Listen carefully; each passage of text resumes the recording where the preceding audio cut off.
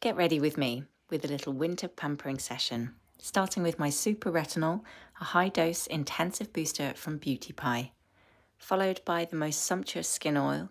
I either add that neat or I mix it with my moisturiser. That one smells amazing and feels gorgeous on my skin.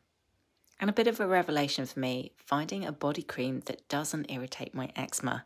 It just leaves my skin feeling soft, nourished, and as the name would suggest, super healthy indeed.